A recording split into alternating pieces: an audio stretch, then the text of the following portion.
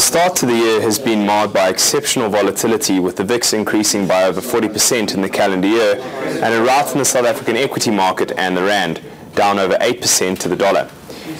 Resource stocks have found some rep temporary reprieve as gold edged above $1,100 briefly last week, although has since declined to trade at around $1,088 today. The weak investor sentiment has also been reflected in Brent crude, which traded under $30, currently at $28.55 per barrel at the time of print, rallying slightly after its collapse on Friday. We have just started to scrape the surface of the US earnings calendar, and investors will be hoping stronger numbers from some of the bigger names, particularly in the financial sector, will help the US bounce back from one of its worst starts to the year in recorded trading history.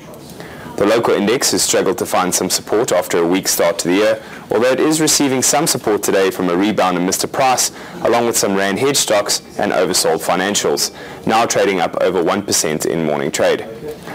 Locally, retailers have led out of the gates with trading updates, but some have left a lot to be desired, in particular Mr. Price on Friday, which was sold off over 17% after weaker single-digit sales numbers. In international economic data, traders will be keeping a wary eye on Chinese industrial production numbers tomorrow, along with retail sales, UK inflation, and the Eurozone ZEW survey expectations. On Wednesday, we are expecting local inflation data with retail sales information.